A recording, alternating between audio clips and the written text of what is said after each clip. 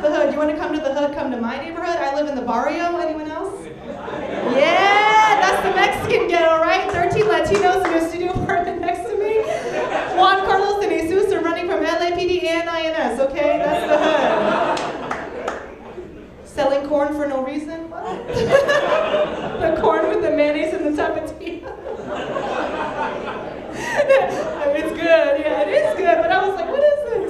the tamale woman comes by every hour. I didn't know about the tamale woman, all right? I thought she was looking for some girl named Tamale. tamale!